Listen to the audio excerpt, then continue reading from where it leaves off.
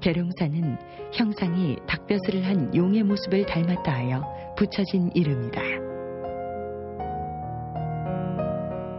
산줄기 곳곳에 암봉, 기암절벽, 울창한 수림과 칭암절벽 등 계룡 팔경이 유명하다.